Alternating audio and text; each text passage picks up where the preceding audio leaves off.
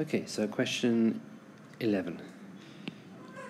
Uh, it's give us this uh, proof and then they're ask some questions about it. Okay, I'm not going to read through it first, I'm just going to go straight to the questions. Okay.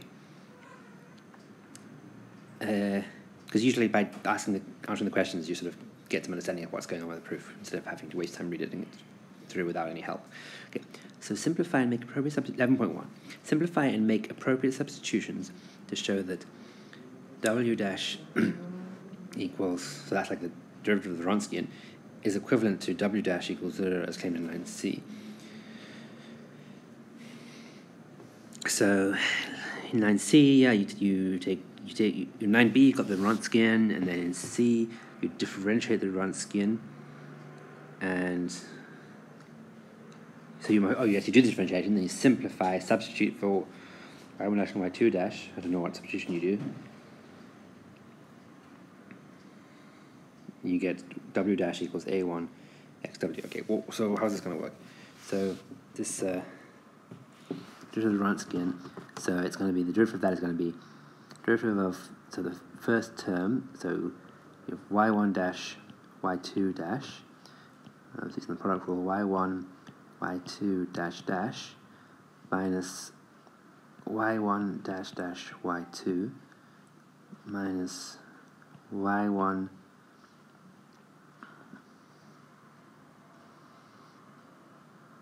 uh, y1 dash y2 dash. Okay, any simplification they're going to do? What do we get? We have y1 dash y2 dash, ah, we minus, so those cancel out and we're just left with y1 y2 dash dash minus y1 dash dash y2. Okay. Substituting for y, ah, substitution we can make is from this differential equation. The differential equation says that y dash dash equals moving the a1s and things to the side minus a1 y dash minus a naught y. Okay. So then if we sub that sub that in for uh, so we so we have two one, one of those for y1 and one for y2. y1 and y2 are two different solutions. So we're going to have so the, if we have this y1 we're going to have what? We're going to have y1 times y2 dash. So that's going to be like minus a1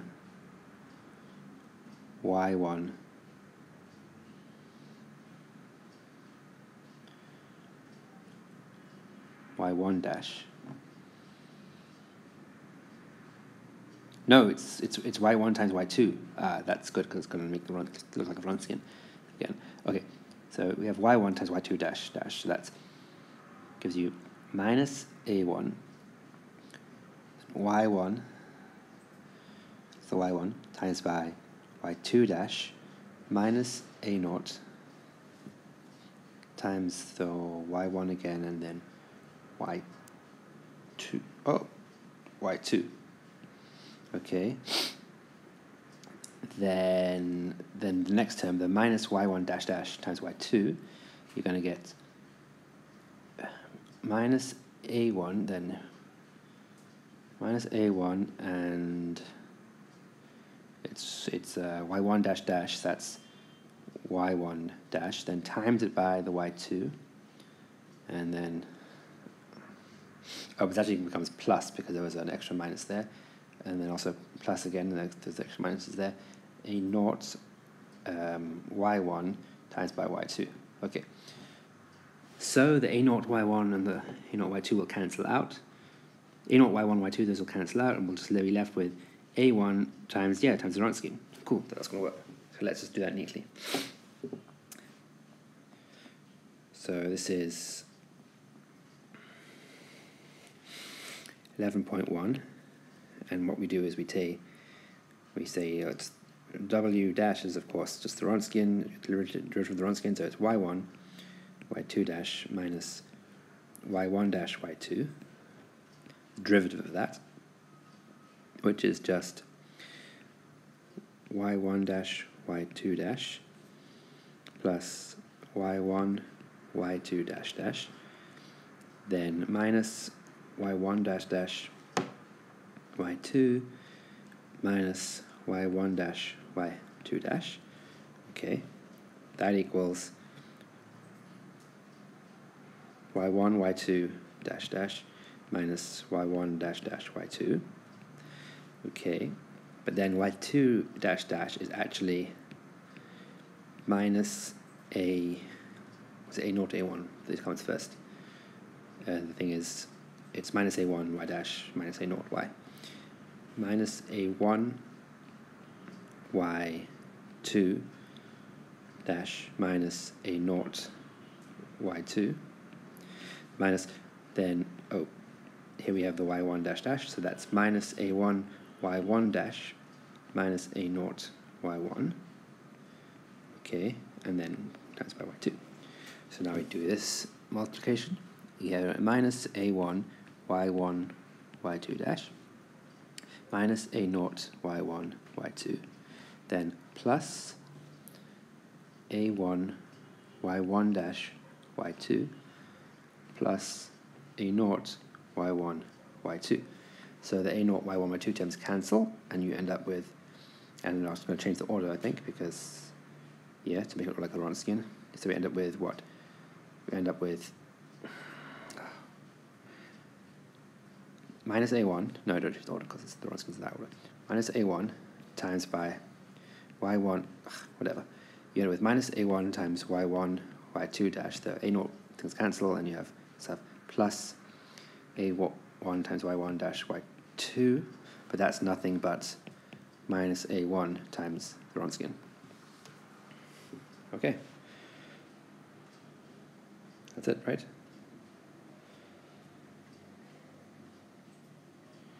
Okay, cool.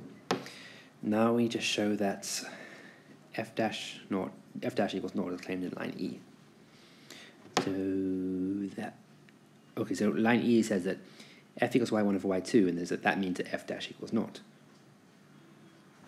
Um, why, where does that come from?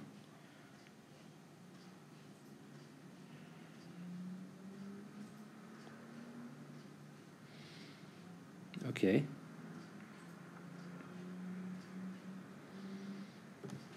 Uh, maybe just, just do the, use the quotient rule on this, I guess. So what, f dash equals, I can never remember which way around to do the quotient rule. Something like, well, it's definitely over y2 squared. And then it's the top, it's like what, it's like, maybe, is it y1 dash y2 minus y1 y2 dash, or is it the other way around? Uh, one way to find out is to sub in y2 equals 1, because then it's just f equals y1, and then that should give us y1 dash. So if you sub in y2 equals 1, what do you get? You get, yes, you get y1 dash. Whereas if it was the other way around, if we had, if we had uh, y1 times y2 dash minus the, th then subbing in would give us a negative. Yes, subbing in y2 equals 1 would give us a negative. Okay, so this is the right quotient rule. And now this top is, is the Wronskian, isn't it? Is it the Wronskian? Not quite the Wronskian, it's the negative of the Wronskian. Right? Wronskian is, yes. And the thing is that, is that 0? Ah, yes, E says W0 everywhere, so, okay, that's 0. So that's how the proof works. Okay, so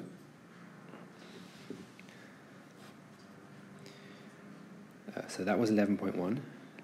Now 11.2, so it's, we're taking the derivative of f, which, because f is actually y1 over y2, we're taking the derivative of y1 over y2, which by the quotient rule is uh, y1 dash y2 minus y1 y2 dash over y2 squared. So that's actually just negative of the Wronskian over y2 squared, but the Wronskian is 0 everywhere. So it's 0 as w equals 0. Okay, so now we're going to 11.3. So 11.3 says, explain how f dash equals 0 leads to y1 equals c y2. Oh, well, if f dash equals 0, then f is a constant, and f is y1 over y2, so you solve it. why does that make y1, y2 linearly de- dependent? Because then one of the one of the things is a one of the functions is a multiple of the other function, and that's that means it's dependent on the on the function. Okay, so f dash equals zero implies that f, which equals y1 over y2, equals zero, oh, equals constant, sorry, some constant in R. And that implies that y1 equals c times y2. Okay. Um, let me rather like this. Implies y1 equals c times y2. So um, and then I'm just going to say that c some constant real number. Okay, so now, so y1 is a scalar multiple of y2, so y1 is dependent on y2. So the set y1, y2 is dependent. Okay. 11.4. What does this argument prove? I think it, it proves that if the Wronskian of a the Wronskian of a pair of functions is is zero everywhere, then the set is linearly dependent, right? Does that just read through and see what that's on? Why one, why two b solutions? Uh, the Wronskian's that. You find the derivative of the Wronskian, solve the differential equation.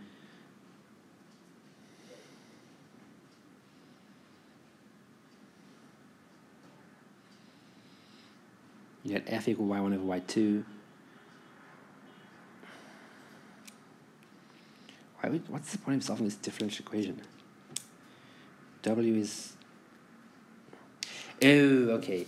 The fact that W is actually A times E to the this integral means that it's ah, it means that it's either if A is not zero, and the Wronskian is never zero because the exponential of something is never zero, but if A is zero, then it's zero everywhere. So Wronskian is either zero everywhere or non-zero everywhere. So if it's zero everywhere, then the set is dependent. Yes. So if it's zero everywhere, so it's like if it's zero somewhere, then it's zero everywhere. So that that's what that following differential equation gets. So if it's zero everywhere,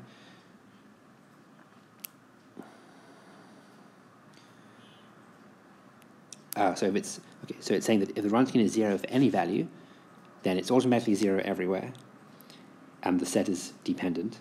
If the Wronskian is non-zero for some value, then it's automatically non-zero everywhere, and no, it doesn't actually then it doesn't say that therefore it's independent, does it? We don't actually prove that, that being non-zero makes it independent, right? We just prove that if it's yes, so we prove that if it so the same thing proves if it's zero, if the Wronskian is zero anywhere, then the set is the set is dependent. That's what this that's what this proves. Okay. So so that um, okay. If the they actually called, didn't actually call it the Wronskian, did they? So they did, yes. So if W, which equals y1 dash, yeah.